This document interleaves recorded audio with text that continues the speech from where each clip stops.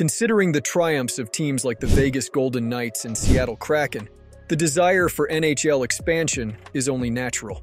The abundant talent among players mitigates concerns about skill dilution, and numerous cities appear poised to warmly embrace an NHL franchise. While NHL Commissioner Gary Bettman stated in March that expansion isn't an immediate focus, he acknowledged the interest from multiple cities. During his annual press conference at the Stanley Cup Final, alongside Deputy Commissioner Bill Daly, they conveyed openness to potential expansion in the long term, sparking anticipation. This prompts speculation about which fortunate city will secure team number 33 and raises the question of others that might follow suit. Identifying cities with the necessary infrastructure, committed investors, and enthusiastic fan bases is crucial. While NHL expansion isn't imminent, the landscape seems poised for growth, ushering in exciting possibilities, but also demanding careful decisions ahead. The following are the long-term options. Quebec. Whenever the prospect of NHL expansion arises, fervent fans express a desire for Quebec City to regain its status as home to an NHL team.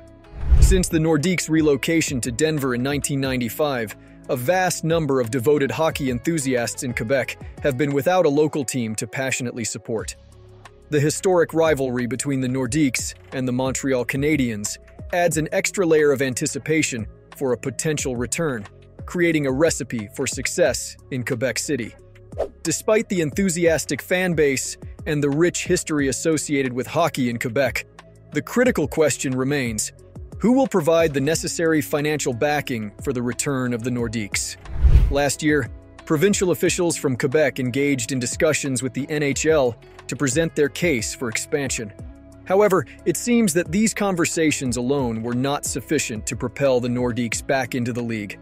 While Quebec possesses strong interest and a compelling hockey legacy, the ultimate factor influencing the decision is the availability of financial resources. Nickname idea Quebec Nordiques, almost legally required at this point. Oklahoma City.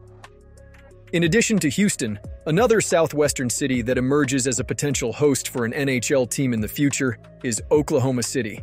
Fueled by its aviation based economy, Oklahoma City offers both financial resources and a potential fan base, presenting enticing prospects for the NHL.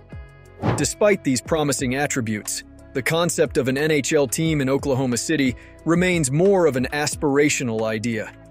The absence of an established hockey market poses a challenge, as potential investors are not yet clamoring to support a team in the region. Furthermore, the city has not witnessed minor league hockey since 2015, and the Oklahoma City Barons experienced attendance issues. Similar to the approach taken in Vegas, building and nurturing fandom will require intentional efforts and strategic planning to ensure long-term support for a team in the area. Nickname ideas Oklahoma Aros, Oklahoma Oil Barons, OKC Outlaws, Toronto. The suggestion of adding a second Toronto club, proposed by the Athletic's Pierre LeBrun, stirred considerable discussion as a potential solution for NHL expansion. The idea centers around the notion that having two teams in Toronto could boost hockey related revenues, a critical factor influencing salary caps and overall league success. This strategic move aims to significantly enhance the NHL's financial standing, allowing it to compete more effectively with other major sports leagues like the NBA and NFL.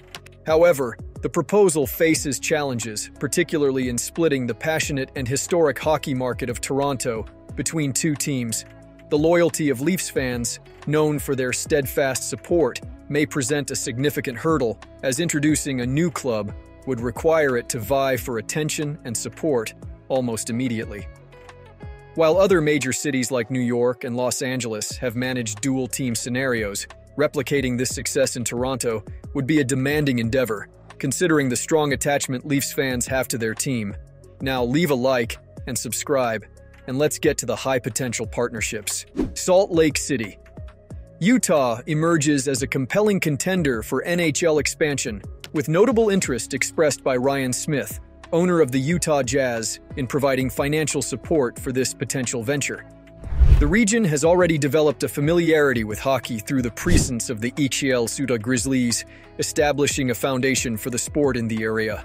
The prospect of Utah joining the NHL represents a significant boost for the League, addressing a noticeable gap in the United States Western Plains and potentially broadening the NHL's reach in the region.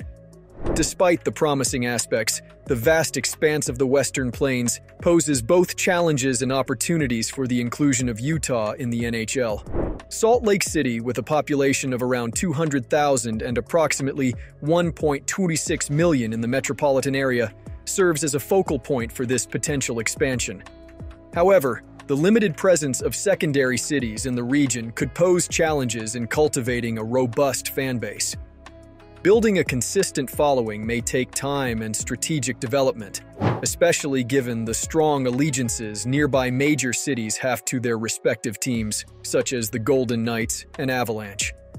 Nevertheless, the commitment of Ryan Smith and the existing hockey infrastructure with the Utah Grizzlies lay a foundation for the NHL's potential success in this untapped market.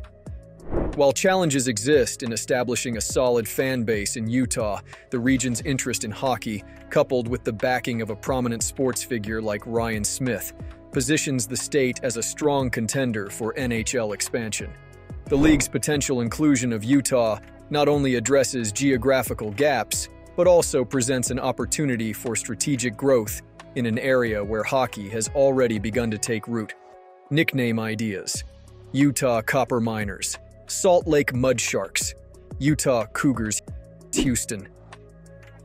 Houston has long been part of discussions surrounding potential NHL expansion, and its inclusion has been speculated even before Seattle became the league's 32nd team. As the fourth largest city in the United States, Houston boasts a history of hockey passion, nurtured by the presence of the AHL's Houston Aeros and their predecessors in the World Hockey Association. The city's rich hockey heritage provides a solid foundation for the sport, and the prospect of a rivalry with the Dallas Stars could add an exciting dimension, potentially significantly boosting interest and engagement among fans. However, the correlation between population size and success in the hockey market is not always straightforward. The example of Phoenix, with the fifth largest American population and a substantial number of northern, hockey-loving retirees, highlights the challenges that can arise in sustaining a team despite favorable demographics. Success in a hockey market depends on various factors, including fan engagement, local infrastructure, and effective management. For Houston, serious expansion talks would require the emergence of a specific ownership group dedicated to the endeavor. While the city shows promise as a potential hockey market, expansion to Houston is not guaranteed at this stage and the involvement of committed ownership would be a key factor in moving the discussions forward. In conclusion, while Houston's status as the fourth largest U.S. city and its hockey history make it an intriguing candidate for NHL expansion, the challenges faced by other large markets, such as Phoenix, underscore the need for careful consideration. The presence of a passionate fan base and a committed ownership group will be essential for Houston to solidify its position as a viable and successful NHL expansion city.